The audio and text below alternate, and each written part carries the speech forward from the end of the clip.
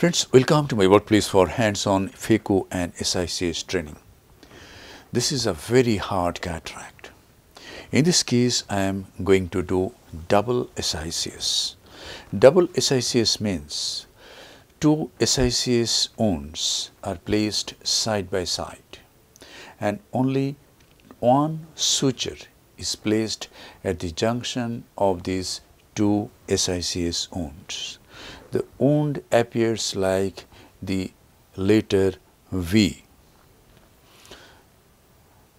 In this case, peritomy has been done for about two and a half clock hours. Now, after cautery, this is one SICS wound, this is another one. Two SICS wounds are placed side by side and the wound looks like the letter V. This blood vessel is not sacrificed in the cautery. And now, after reaching the proper depth of about half thickness, the crescent blade is used for making the sclerocorneal tunnel as we do in SICS.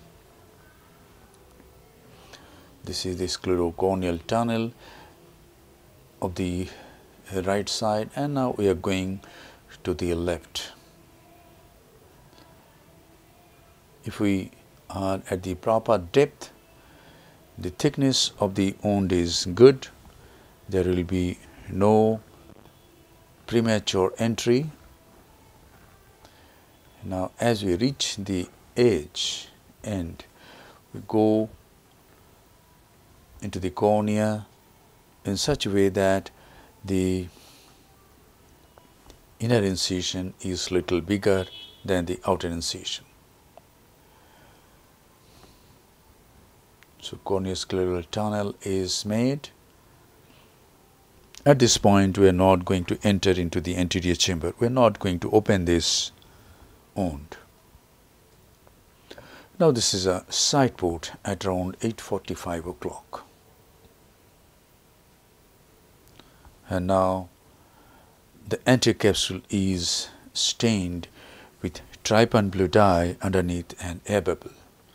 When we do so underneath an air bubble, the staining is very good in a short time. This is adrenaline to keep the pupil dilated since the nucleus is very hard we need a large rhexis to prolapse the nucleus into the anterior chamber. The anterior chamber is filled up with 2% hydroxypropyl methyl cellulose. Now a 26 gauge bent needle called a cystitome is used to do the rhexis through the side port.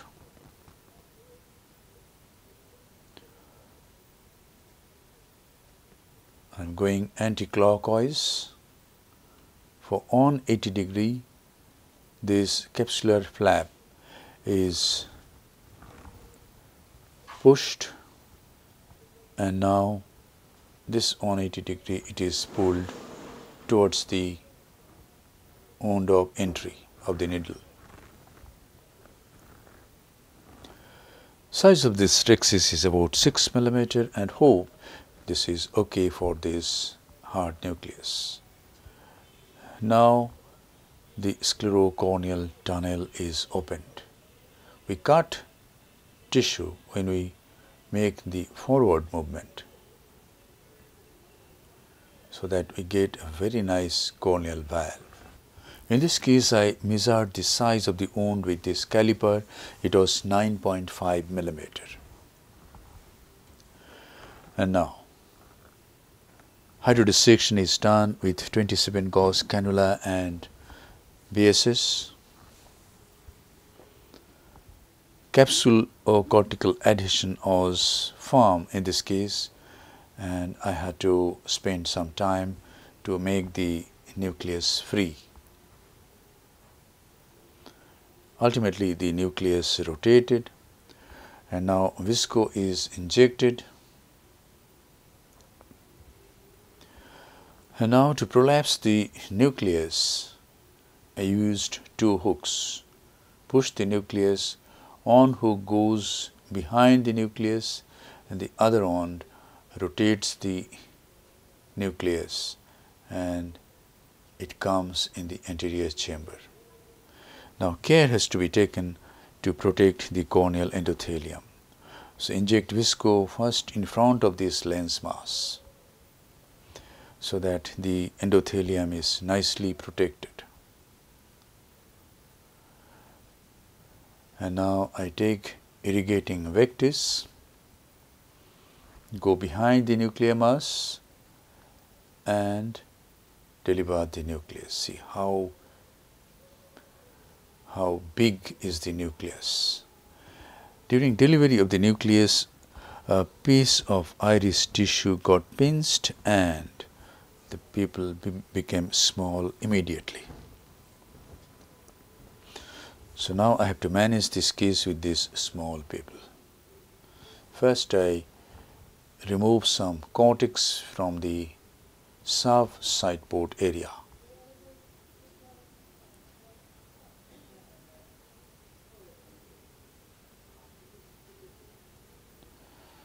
And now I go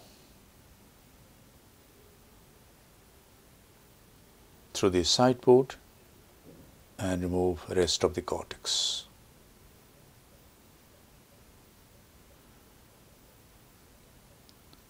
We have to be very gentle in removing the cortex because zonule may be weak in such cases.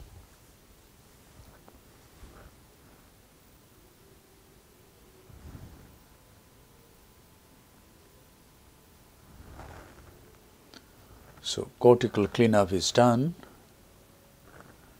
and now the antechamber and the capsular bag is filled up with visco. And then a PMMA lens, Liberty lens from Appasamy Associates goes into the capsular bag. The leading haptic goes into the capsular bag and the trailing haptic is placed in the bag in this way.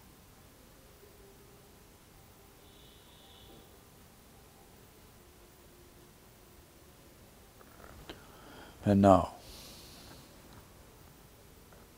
some more visco. Now only one suture is required at the junction of these two SICS wounds that is at the apex of the V-shaped incision and this is the suture is tied the suture should not be very tight nor very loose. Optimum tension should be there. This suture will prevent indu induction of astigmatism, though the size of the wound is large, nice 9.5 millimeter. The healing will be very good because the apposition of the two margins are very nice. Now I will put two releasable sutures on either side. Now I am checking whether this wound is stable or not, whether I need any more suture or not. After forming the entry chamber through the side port, I find that the intraocular pressure is on the higher side and no leakage from the wound. So, I don't need any more suture. Now I clean the viscoelastic substance nicely, go behind the lens and remove the visco.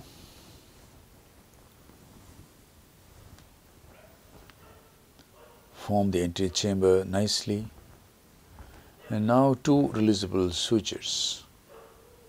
This is one on the right end of the peritomy.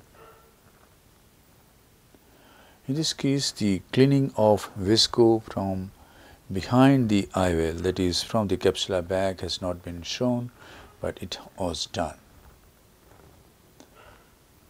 This is formation of some chemosis with subconjunctival gentamicin and dexamethasone. The superior rectus suture is removed and then the conjunctiva is advanced and the releasable suture on the left end of the main of the peritomy is placed. Cautery is not foolproof and cautery destroys cells which I don't like. So, releasable suture is very good. See the post-op pictures. These are the post-op pictures after 24 hours. Cornea is clear, no corneal edema at all. Anterior chamber is absolutely quiet. Intraocular pressure by non-contact tonometry is 14 millimeter of mercury. There is subconjunctival hemorrhage postoperatively, but it is going to be all right within two or three weeks. Thank you very much for your attention. Hope this video will encourage you to do double SICS in very hard cataracts, rock hard cataracts. Just put on suture at the junction of two SICS wounds and astigmatism will be minimal or nil.